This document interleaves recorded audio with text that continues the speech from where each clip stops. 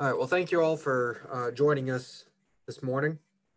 Uh, and I'm going to discuss uh, insect pest management in processing vegetables.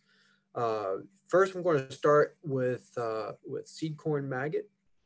Uh, let's see here. There we go. seed corn maggot is an early season pest. It prefers cool, wet conditions, and it really likes fields with recent organic matter amendments, either tilling in a cover crop or manure application.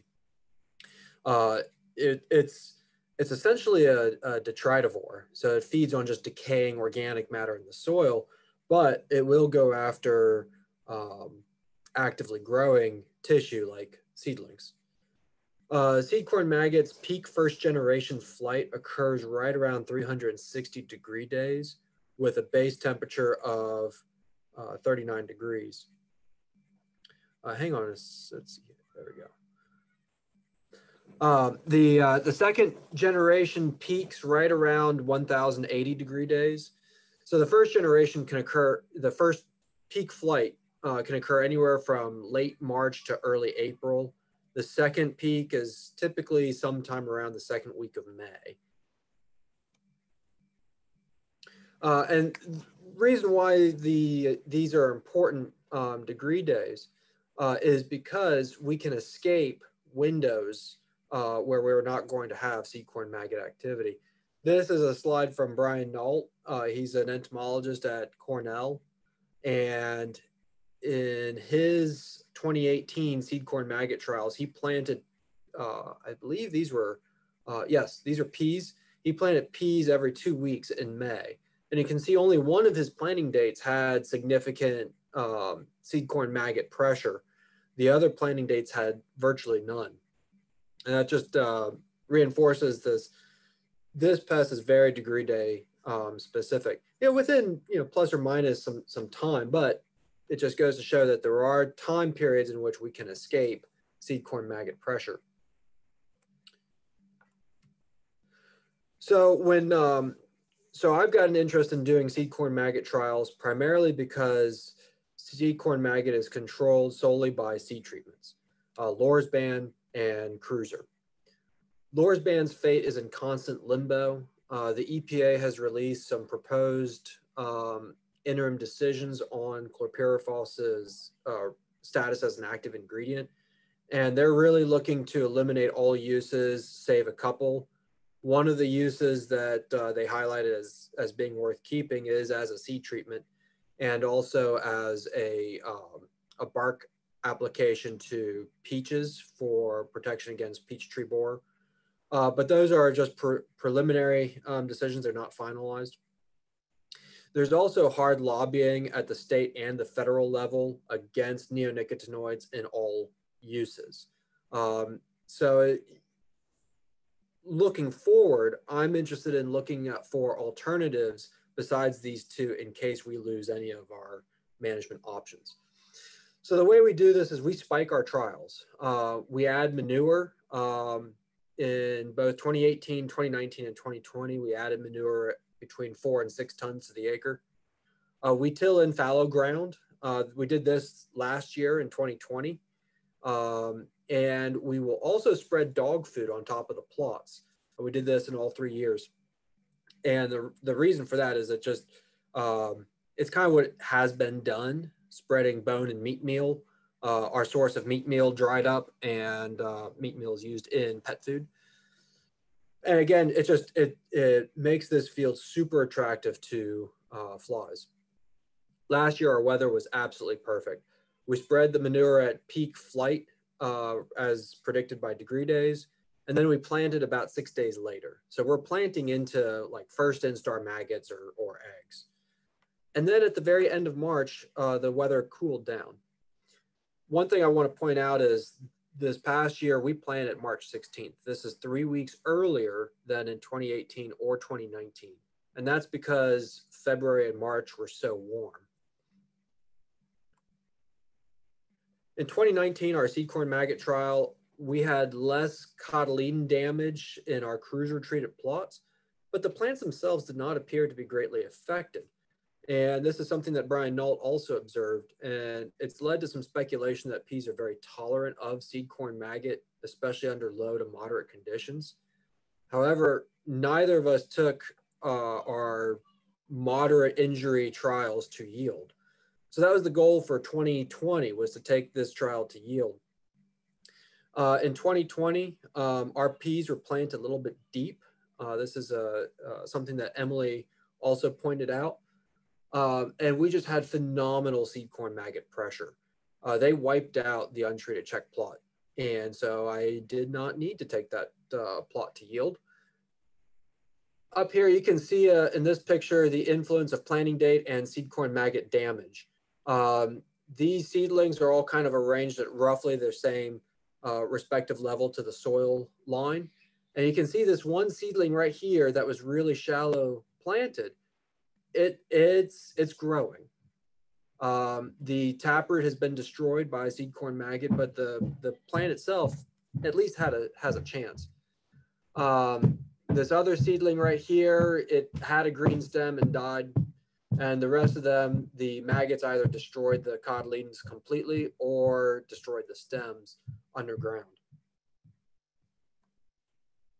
Taking a look at our stand counts in 24 row feet, uh, I had diazinon in as a treatment as kind of an old standard. It is no longer labeled for this use. Uh, our seed treatments, Cruiser and Lorsban, uh, they had some protection against seed corn maggot, but seed corn maggot will, will overwhelm a seed treatment if it's in high enough uh, populations. Uh, Fortenza and um, Entrust, those were treated by Dr. Alan Taylor. They are not labeled for seed corn maggot, but we are working with IR4 to get some data to hopefully get an approval for one or both of these uh, seed treatments for seed corn maggot protection in legume crops. Uh, Fortenza is cyantraniliprole, it's a diamide. Entrust is spinosad. And when that uh, that uh, next generation peak flight occurred, this is what the plots ended up looking like. All these little black spots on the soil surface, those are adult seed corn maggots. Uh, this this field was just covered in them. It was uh, what I consider a glorious infestation. Uh, next up, I'm going to discuss uh, some considerations with sweet corn pest management. Um, with particular emphasis on the ear pests. We've got earworms, armyworms, uh, stink bugs, sap beetles, and aphids. Uh, sap beetles, the only thing I'm going to mention about them is they start coming into fields at right at full silk, and they really prefer worm damaged plants. So if the if the planting has worm damage in it, that's where the sap beetles concentrate themselves. All right, I showed this slide yesterday. Um, I'm going to focus primarily here on this blue box. This is the box of uh, insecticides that we have to protect ears against worms. Uh, we're, we're very limited on our modes of action. We've got pyrethroids and diamides and uh, spinosyns. Uh, Radiant, the spinosyn class, has been inconsistent when applied by itself it is best either inside of a rotation or as a tank mix. I'm going to touch on that here in just a moment. With fall armyworm, we've got a couple of additional products that are labeled for whorl feeding worms, not necessarily for silking stage. This one product, Rimon, down here at the bottom, I've got that italicized. It's labeled for both uh, whorl and silk stage protection. Uh, to my knowledge, it has not yet been evaluated in the mid-Atlantic for silk stage uh, protection against earworms or armyworms. So this past year, we had armyworms show up in mid-July and August, uh, spotty whorl stage infestations. Some fields were treated for this. Um, it, this is a this is a pest that uh, we've got very high thresholds for, at least in the mid-whorl stage. But when we start pushing tassel, we need to be really careful that we're not pushing worms out with that tassel because if they get pushed out, they will go to the ear and hit the side of the ear. Uh, especially later on in the summer, um, I I do not recommend using a diamide um, against uh, whorl stage infestations. And the reason for that is chlorantraniliprole, either in Coragen, Besiege, or Elevest, on its label, we can only make three applications before we run up against its maximum active ingredient use per field per season. And so I want to keep that active ingredient around for silk stage protection. And I'm going to touch on that here in just a moment. So when we scout for fall armyworm, you want to look for recent window panes or really small holes. But this worm moves in very deep into the whorls. By the time we see a lot of feeding damage, most of the time that larvae has completed its development and has already left the plant. And you can see that in all three of these pictures. Here on the bottom left is a uh, whorl where the uh, folded up leaves do not have any feeding damage on them. Uh, again, that's that's from a worm that finished up and left. Uh, same with this one. This one might actually still have a fall armyworm in it here in the middle, uh, but that's going to be a very old armyworm. You can see it's already done extensive feeding. Same with uh, this whorl here on the right. So by the time we see eye-catching damage, a lot of the time those worms have already left. But be watching this field for the emerging tassel because just because a lot of the worms have already left does not mean that we don't still have moths laying eggs in the field.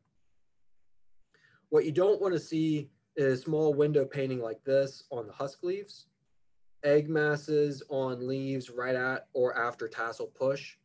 Uh, and what happens is you get a, an armyworm that will drill into the side of the ear and um, it can cause problems like this where the whole one side of the ear was not pollinated because the silks were destroyed uh, right before uh, pollination happened.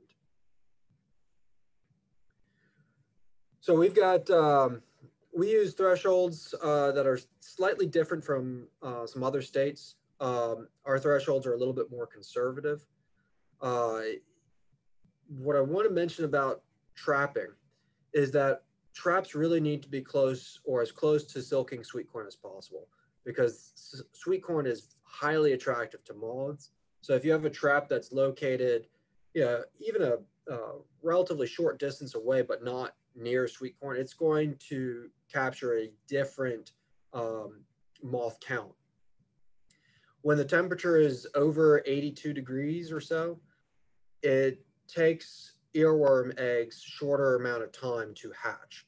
And so, especially in high pressure situations, we really need to tighten our spray intervals by a day, um, especially during the first 10 days of silking to account for that quicker development. Earworm management is uh, rather difficult, uh, and that's in part because we do have uh, pyrethroid resistance. In 2019, we tested moths for pyrethroid resistance, and you can see the season started out fairly low, uh, around 15% resistance, but by mid-July it increased up into the upper 40, 45% or so. In 2020, we started, it wasn't as clear of a pattern. We started up with, uh, with more resistance in our moths, and I believe that's because of our mild winter, allowing more of these fairly puny but resistant moths to survive winter. They they're not as they're not as robust of a moth. They're not as healthy of a moth when there is no pyrethroids to um, select for them.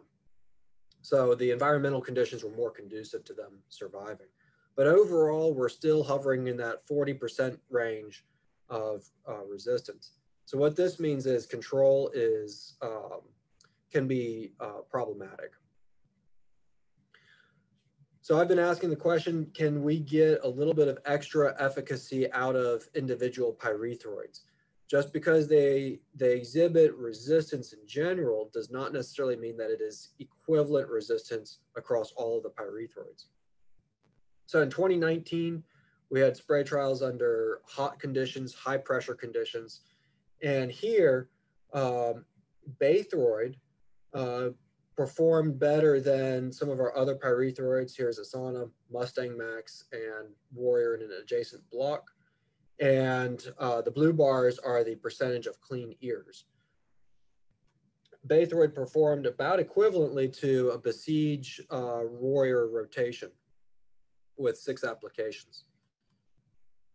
In our 2020 spray trials, in Georgetown, we actually had uh, unusually low um, moth counts in our, uh, our pheromone traps. At least in our traps next to the sweet corn. We did have a trap about a half mile away that was indicative of a three day spray schedule instead of a four day spray schedule. So this, this also goes to show that we really need to also consider what some of the local trends are. So if you have traps that are fairly close by, maybe around other blocks of sweet corn, go with the most conservative spray schedule. In 2020, um, it was also very hot, but I did not do any temperature adjusting. And uh, worms just hammered the untreated check again.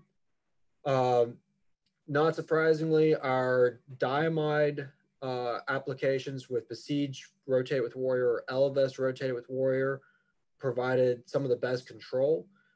This is an interesting treatment, Radiant plus Warrior, uh, looking at alternatives to Lannate plus Warrior um, from a uh, safety um, standpoint with handlers. Uh, and Radiant plus Warrior, even though this would be a pretty expensive treatment, it provides some very good efficacy. Among the pyrethroids by themselves, Baythroid was a little bit better than Brigade and Warrior. Um, statistically, they're about equivalent. Uh, so I'm just going here on uh, numeric differences only. So take that with a grain of salt. In our second spray trial, uh, the differences were a little bit more clear between Baythroid Warrior, and Brigade. Uh, here's our Radiant plus Warrior treatment. Um, didn't quite look as good as our first spray trial, but it was still, I thought, uh, very promising. Uh, Tom Kuhar also did some pyrethroid testing. Um, in his uh, mountain test uh, at Whitethorne, Virginia, that's in Southwest Virginia in the mountains, where he had moderate to low pressure of earworms, the pyrethroids performed very well. Um, and they were all roughly equal to each other uh, with some differences between permethrin and pyganic. In at the Eastern Shore of Virginia, under high pressure and pyrethroid resistance, the only product that worked really well was Hero, uh, but you can still see that we've got about 40% damage. Um, and then bifenthrin and Baythroid performed equivalently.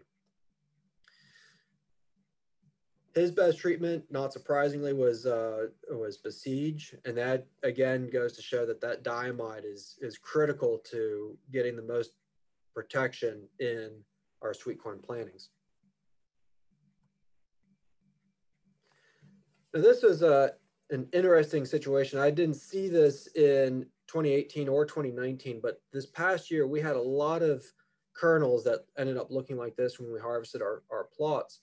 This is typical of hemipteran damage, such as stink bugs. And so it's something that we do uh, rate for in addition to corn earworm and fall armyworm damage. And this is where Brigade really, or the active ingredient in Brigade, uh, bifenthrin, uh, uh, really helps. Um, here's Elevest, which is uh, the tank mix of chlorantraniliprole plus bifenthrin. And here's bifenthrin by itself. And those two, um, those two plots had the lowest amount of hemipteran damage. Hey, David. Yes. There's a question in the chat about, and I think it's probably referring to some of that Virginia data. Um, how many sprays are the product results based on?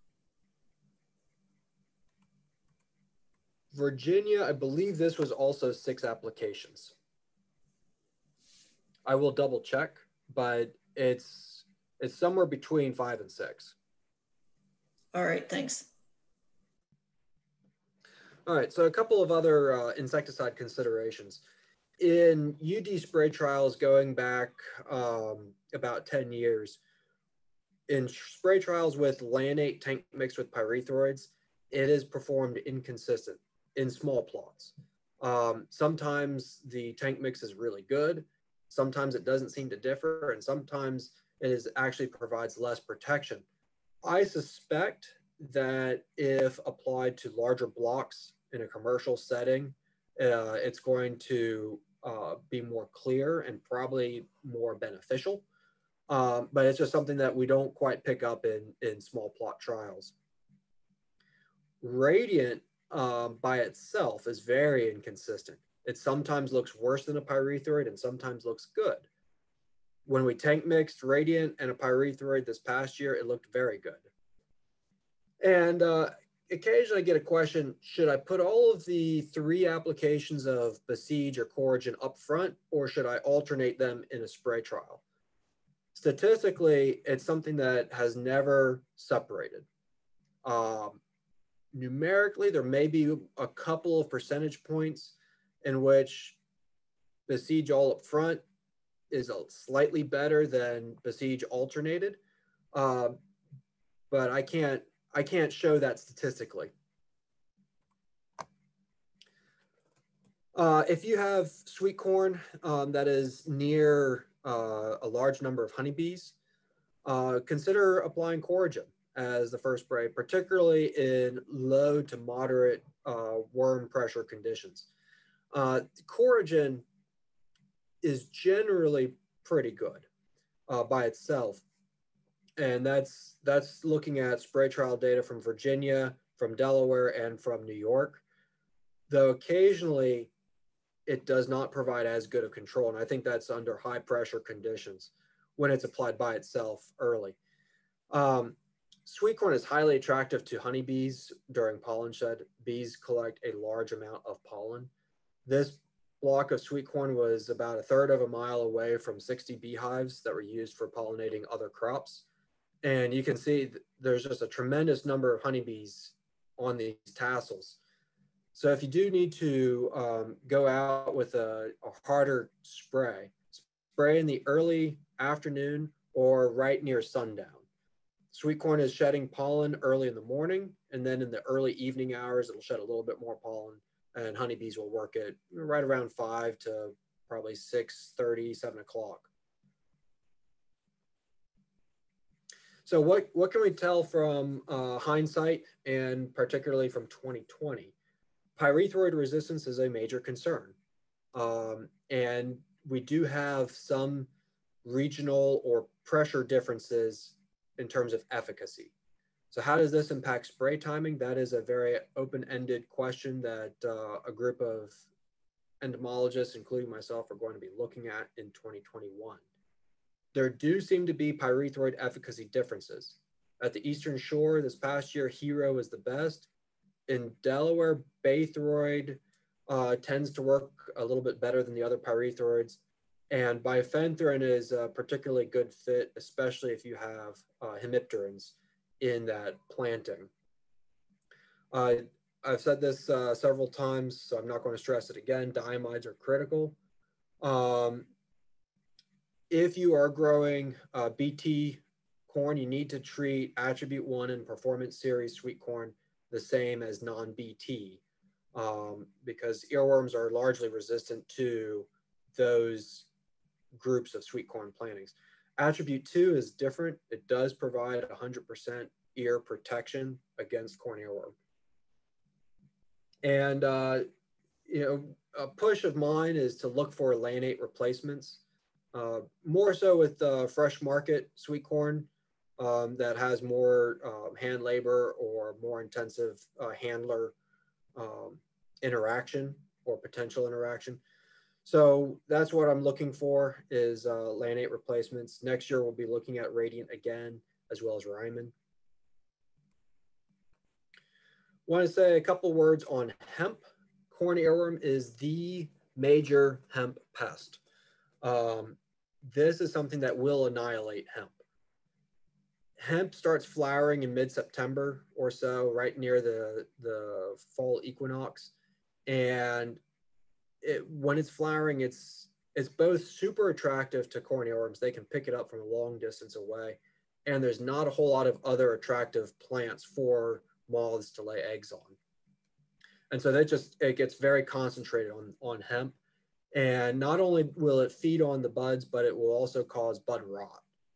And you can see that in this picture right here, where where the top half of this bud is is just rotting away. Check your state's Department of Agriculture for allowable products. Each state is, is going with a slightly different interpretation of what they should uh, allow.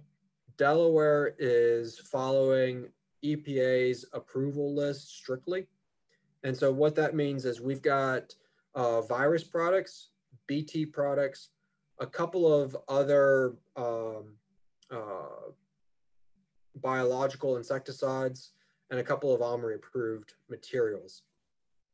Um, Tom Kuhar has a really good PhD student, Katie Britt, who's done a lot of spray trials and laboratory bioassays.